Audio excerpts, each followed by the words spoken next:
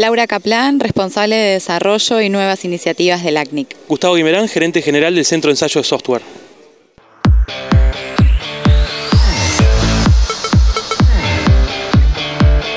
Es un servicio que está basado en la metodología CERTIV6. Eh, es una metodología pensada para hacer pruebas sobre el nuevo protocolo. Se generaron una serie de cursos eh, como una modalidad teórico-práctica para que eh, quienes estén interesados en testear sus equipos puedan realizar el curso, aprender a utilizar la metodología y aplicarla.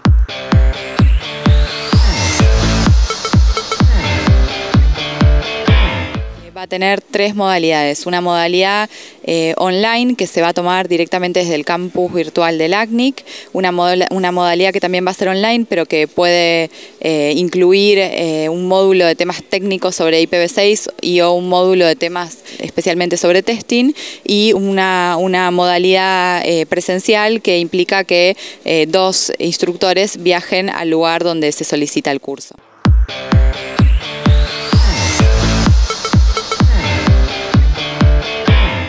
Servicio de cursos Testing B6 va, a estar disponible a partir del 20 de julio, eh, por el momento solo en idioma español.